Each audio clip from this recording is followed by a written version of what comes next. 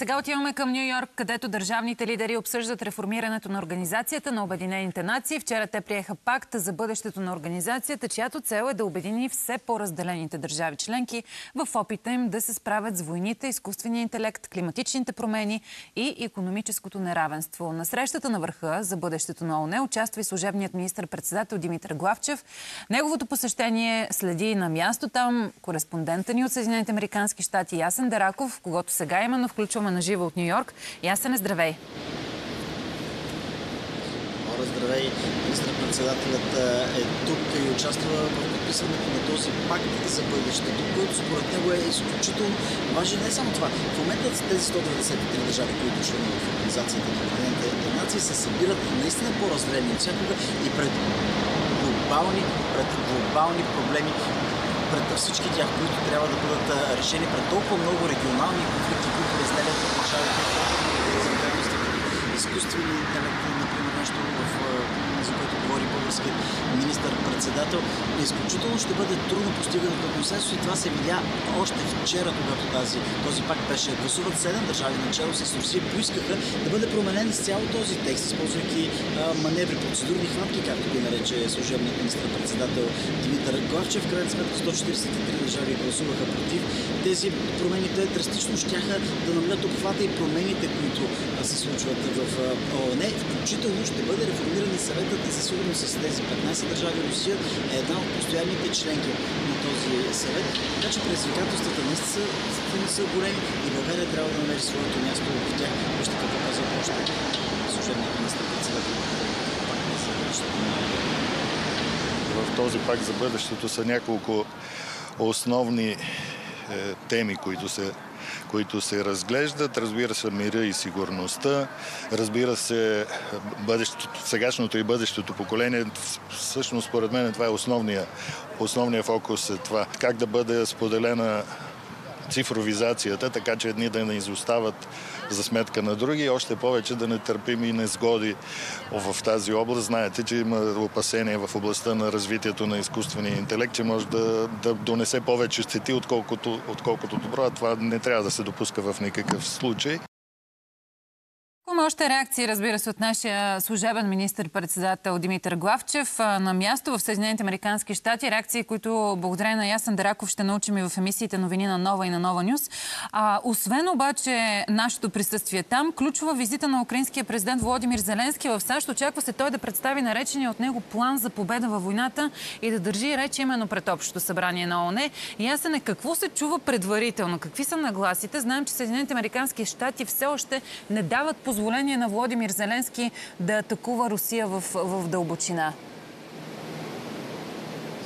Точно така, Лора. Всъщност Владимир Зеленски вече е тук. Той беше на посещение в завод за муниции в щата Пенсилвания, в родния град, между другото, на президента Джо Байден, където разглеждаш тази фабрика, която доставя над 3 милиона галоби, амуниции за галобиците, които се използват и са дарени от Съединените щати. Но той ще има няколко много важни срещи, срещи за надващата, от която е участието му на този съвет за сигурност с 15 членове, за който ви говориха. Това ще се случи утре, ден преди да говори пред общото събрание. Но не е ясно какво ще говори, освен че ще търси още повече подкрепа, още повече оръжие, но той трябва да представи този план за победа, както украинците го наричат, на срещи във Вашингтон с сегашният президент Джо Байден, както и с двамата кандидати, с Камала Харис и с Доналд Тръмп. Между другото, те с Доналд Тръмп не са се виждали виждали от, лично от времето, когато той беше президент през 2017-2021 година.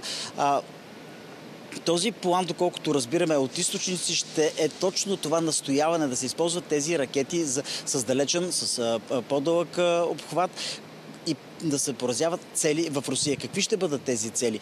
какво е тяхното стратегическо значение за победата и как наистина ако Съединените щати и другите съюзници разрешат използването на тези ракети, как това ще доведе наистина до победа на Украина. Вероятно това ще се опита да убеди украинският президент. Виждаме в Европа, особено в Великобритания, гласове, че този тип ракети трябва да бъдат а, разрешени а, на Украина да ги използва, за да поразяват цели във вътрешността на Русия. Ясне, винаги така разчитаме на теб за предварителните нагласи, които пък американците имат по различни теми. В случая говорим за войната в Украина, която Русия води. Обаче искам да направя една връзка с водещата тема на място при, при теб, а именно изборите. Сблъсъка Камала Харис, Доналд Тръмп. Доколко тази тема е застъпена, сякаш в буквалния сблъсък, дебата между двамата, Говореше се за сигурността, но не се каза кой знае какво в, в, в тази посока, като политики, които единия и другия биха възприели за, за последващи, ако единия или другия стане президент на Американските щати.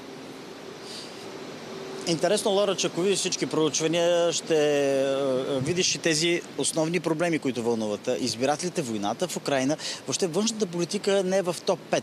Това е економиката, справянето с инфлациите, опасността за пред съществуването на демокрацията в тази страна, демокрацията и абортите, разбира се, но войната в Украина и въобще външната политика като цяло отстъпва на тези изцяло вътрешно-политически проблеми, които избирателите поставят начални позиции, а след след дебатът, който се случи на 10 септември между Камал Харис и Доналд Тръмп, нещата а, изглеждат, че продължават в тази възходяща тенденция за Камал Харис. Нови проучвания последните 24 часа и дават между 4 и 5% преднина в национален мащаб. И не само това, дават и преднина а, ключова в три щата, така наречената синя стена, Пенсилвания, Мичиган и Уисконсин. Ако тя спечели три щата, ще стане президент с 270 гласа.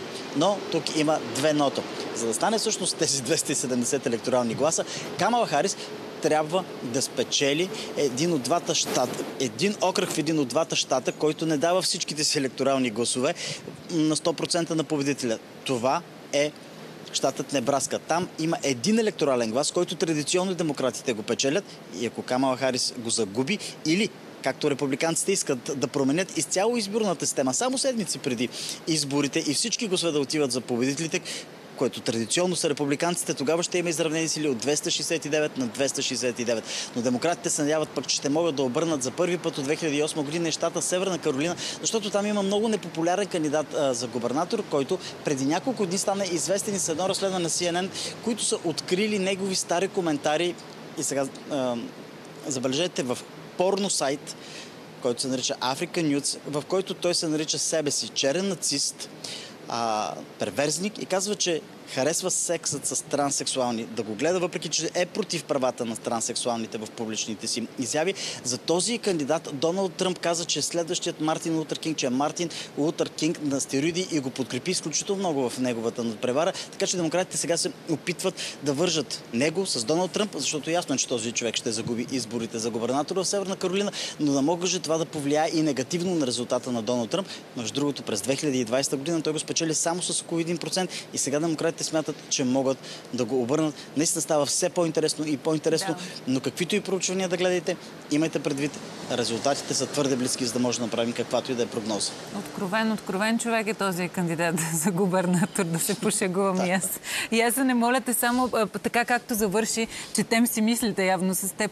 Тези 4-5% от последното проучване, което ти цитира, това исках да те попитам в допълнение, преодолима, лесно преодолима разлика ли е към днешна дата? Вижте, в Съединените щати президентът не се избира на така както в България, да. 4-5% наистина е много добра предина. А, но Аха. всичко се решава в тези 7 ключови щата. Социолозите казват, че Камал Харис трябва да има една стабилна подкрепа от поне 3% и половина в националния вод, което да може да се преведе в победа в електоралния колеж. За сега осредненият модел на всички проучвания, защото има и проучвания, които дават по-малка предина. Разбира се, това са от последните 24 проучвания, часа, проучвания, които са малко по-добри за нея от тези, да речем, от преди седмица, но средненият модел дава 3%. Не е достатъчно. Просто не е достатъчно. Благодаря ти. Ние държим връзка с теб. Ти си нашия човек на място от всякъде тук за нова и за нова нюс. И, и държим тази връзка, защото пък една прогноза прозвучава в нашия ефир за октомврийска изненада, която вероятно ще си спретнат а, двата лагера, които се сблъскват в момента Камала Харис и Доналд Тръмп. Нещо, което традиционно така се наблюдава Това... на финалната права. Така е, Лора. Струва ми се обаче, че тук нещата се случиха малко по-бързо. Мисля, че тази октомврийска изненада беше именно това разследване, което CNN изкара за този кандидат, защото той губи. Там беше ясно, че той няма. Той говори неща за абортите, за жените в тези коментари, че трябва да се върне робството, че той би си купил няколко роби, че жените правят аборт, защото не могат да се полите да. смъкнати. Нещата са много цветущи, но това разследване и на опита на щаба на Харис, ако е успешен да вържат него с Доналд Тръмп, който толкова много го е хвалил, може да бъде наистина фатално. А пък Северна Каролина има толкова много електорални гласове, че Камал Харис може да си позволи да загуби дори Пенсилвания, ако обърне Северна Каролина. А, така че ще бъде много интересно. А голямата изнада през октомври може да бъде неочакван дебат, която, който Камал Харис предложи да се случи на 23 октомври по CNN. Доналд Тръмп а, казва, че твърде много е дебатирал, но не казва не. И и ние познаваме, знаем как характера му, знаем как той реагира на лоши новини, особено на проучвания на рейтинги. Ако нещата продължават същия дух, не бих се очудил той да се съгласи на този дебат на 23 октомври. Между другото, в няколко щата гласуването, предварителното гласуване вече тече. В още няколко щата се изпращат вече бюлетините по почтата, т.е. хората ще могат да започнат да гласуват там в следващите дни. Така че този процес по гласуване да вече наистина започва в тази страна 5 ноември е финалът. Благодаря ти още веднъж. Ясен Дераков, кореспондент на Нова от Съединените Американски щати в ефира на твоя ден.